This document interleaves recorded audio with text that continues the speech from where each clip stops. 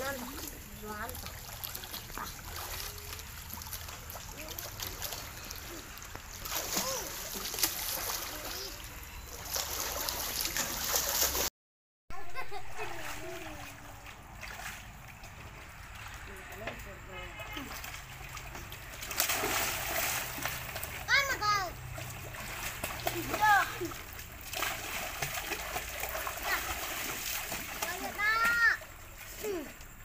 mà dân tăng ta lên mà, đi gặp bố thôi